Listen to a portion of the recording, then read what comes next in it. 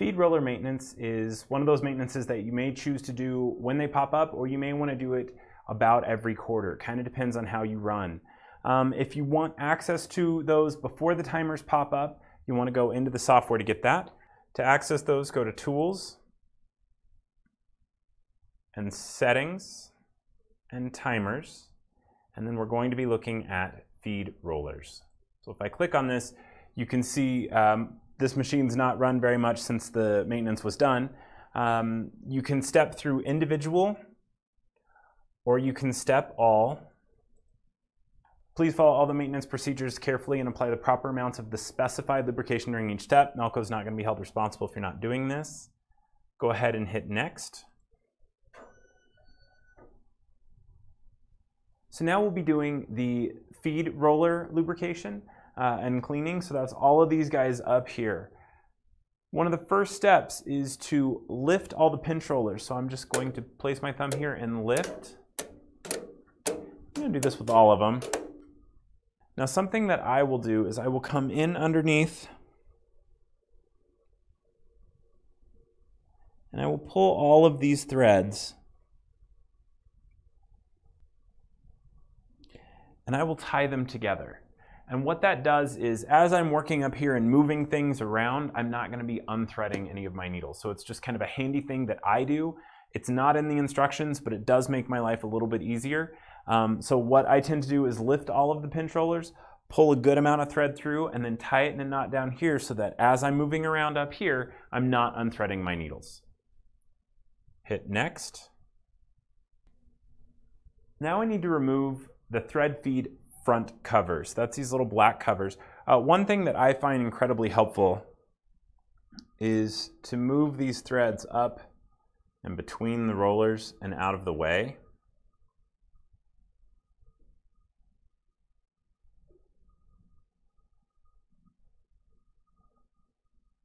And I tend to do half to one side and half to the other.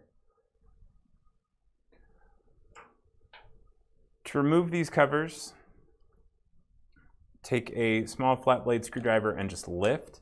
Now they do overlap. You can also use your fingernail. They do overlap. They work a little bit like shingles. So if you lift one and the others tend to come with it, that's why. See how all these are starting to come with it? And then you just pull them out. And they are not in any sequence. They can go back on any needle.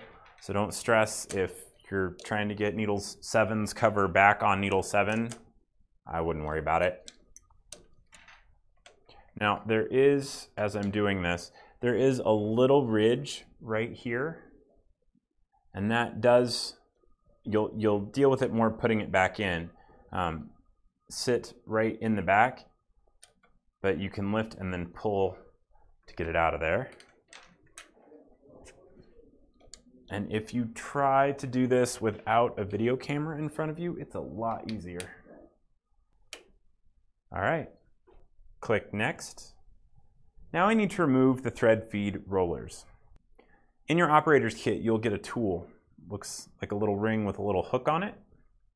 And that's what this tool is for. So you can take the tool, line it up on the edge of a roller, rotate 90 degrees, and then pull. And if you pull out at a 45 degree angle from the front of the machine, it makes it a lot easier to do. You can just reach in, grab this, and pull it out. If for some reason you don't have that tool, you've lost it or you can't find it, you can always order another one. Um, but if you have two small flat blade screwdrivers, you can do the same thing. You just go in on either side and pry it out. But if you aim towards the middle of this curve, you're going to be better. And if you aim at a 45 degree angle from the front of the machine coming out, it's going to be easier. And then I can just roll that out.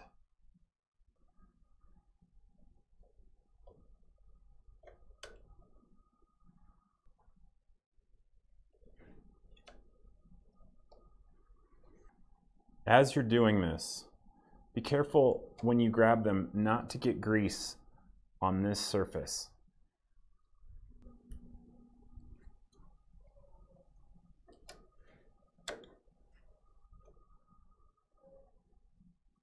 Notice that these have spokes on them.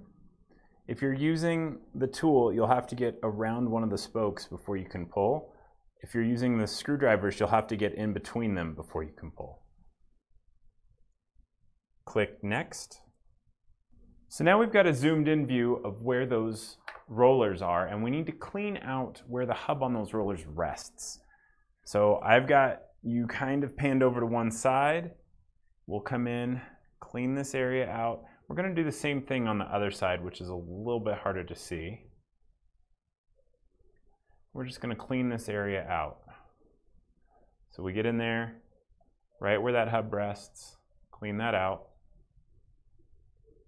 Make sure you're not leaving little bits behind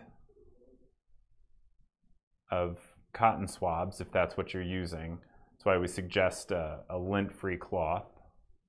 And you can wrap that around your uh, applicator stick, and that really helps with that. Click Next. Here I have my rollers laid out on a paper towel. Uh, we need to clean them as well. We just cleaned where they go, but now we need to clean these hubs.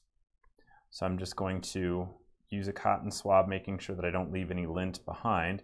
Clean around there. I'm going to rotate this around.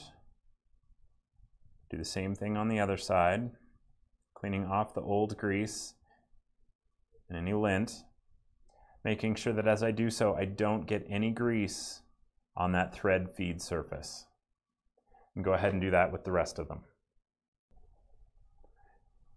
As you are cleaning these rollers, uh, be sure to inspect for any wear, nicks, grooves, or anything that may catch thread. And if the roller is damaged, go ahead and replace it with a new one. Okay, that's my last one. Click Next.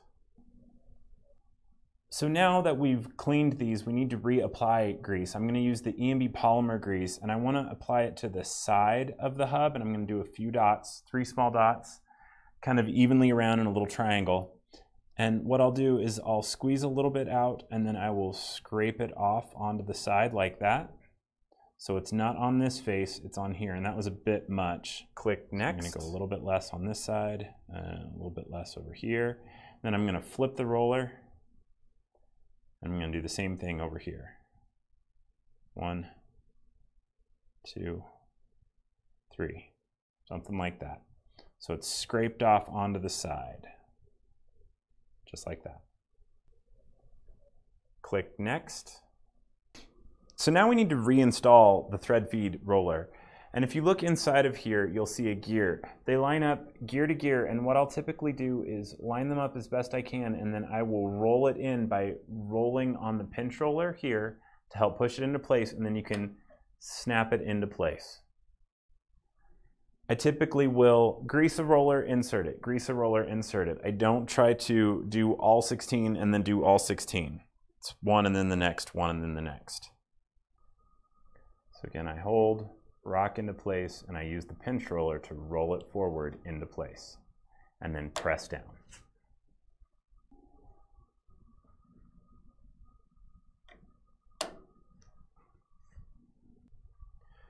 If you end up with a little bit of grease on the divider, go ahead and clean that up. Click Next.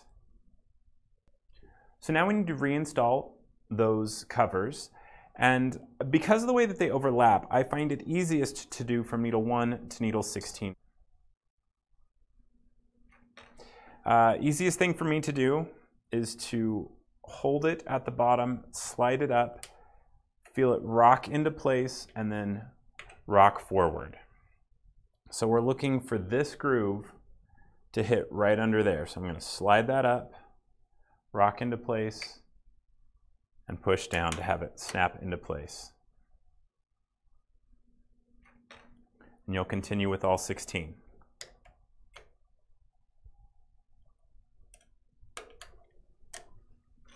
Remember that these can go back in any order.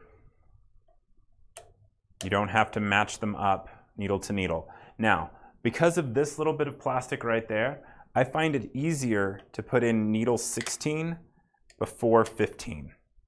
I find that the two play better against each other than they do against the side of the machine. So that makes my life a little bit easier. So I go needle 1 through 14, and then 16, and then 15, just to make it easier to get everybody to line up and play nice. Click Next.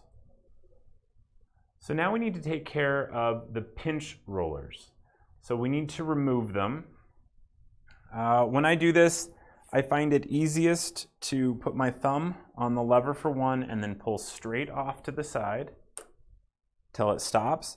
And then I tend to put the one next to it down so that it rocks over at an angle and then I can just pull it straight out from the machine that way. And I may do every other one and then come back and do them because it's faster for me.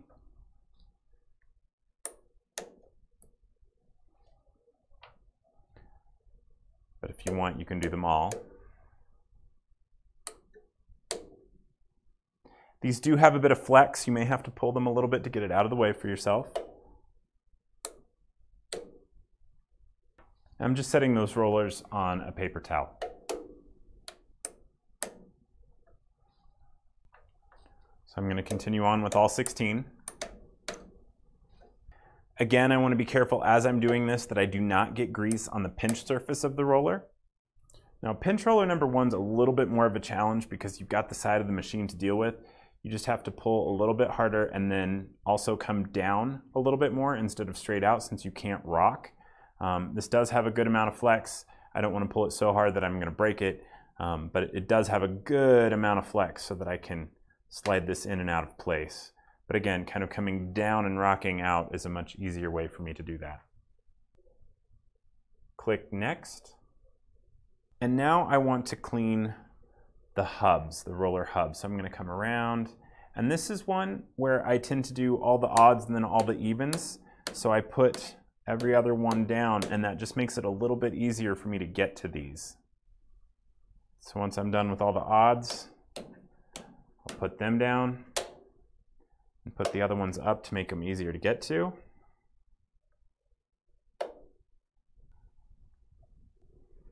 You can do this any way you like as long as you're getting them clean. Click Next. Now that we've cleaned the machine, we're going to clean the rollers. So I'm just going to come in, pick this guy up and clean any lint out of here. I also want to make sure that as I'm looking at these, that if any of these three little feet are broken, I may want to replace my roller.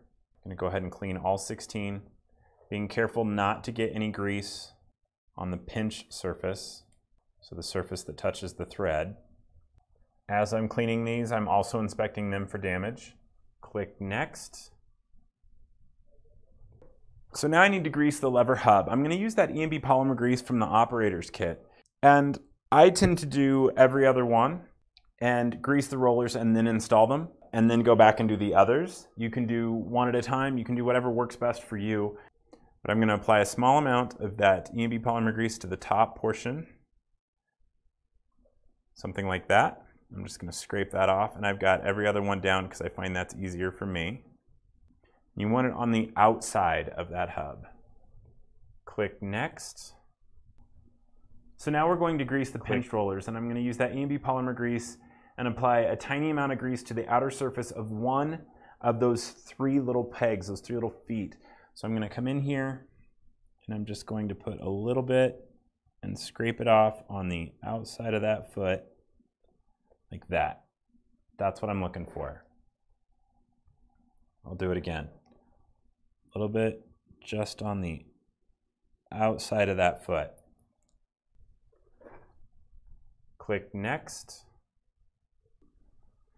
Now we need to reinstall those pin rollers. So I've got a little bit of grease on the hub. I've got a little bit of grease on the outer edge of one of those feet. So I will pull, rotate, and then come back into place. And as I do, I'll roll it slightly, start to spread that grease, and then I will grab it and snap it into place. I'll go ahead and put that one down to get it out of my way to make it easier to do the next one.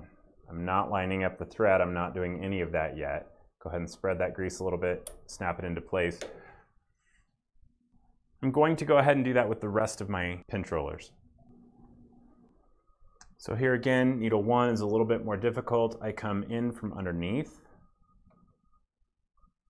rotate, snap into place. So now because I moved the thread all out of the way, I'm going to line all of this up. And to do that, I kind of lift this thread back around, line it up around each of those pin rollers. You go one more, there you go.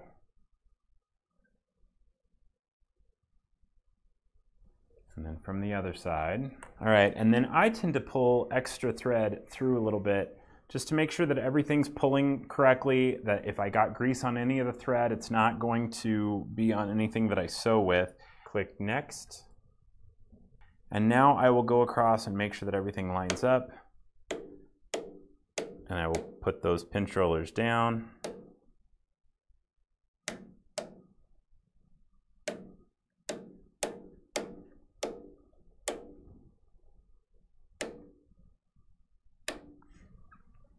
Click Next. And now that you're finished with this, you can go ahead and click Finish, and then you can exit. If there's any other maintenance you want to do while you're in the screen, you can go ahead and do that, or you can click OK to get out of it. Now that I've closed out of all the maintenance screens, um, I still have this extra thread hanging. So what I'm going to do, because I, I pulled it all through the system, made sure I didn't have anything um, with grease on it, or made sure everything was flowing the way that it should have been, I have extra, I'm going to use the grabber and the center key on the, on the keypad. It's gonna close that grabber. It gives me a nice place to cut against, figure out about how far I want. I want, you know, centimeter below that. I'm gonna go ahead and trim up my threads. It's one of the few times you'll see me actually using a full pair of scissors to cut thread. If I'm cutting a bunch of them, I'll just cut straight across.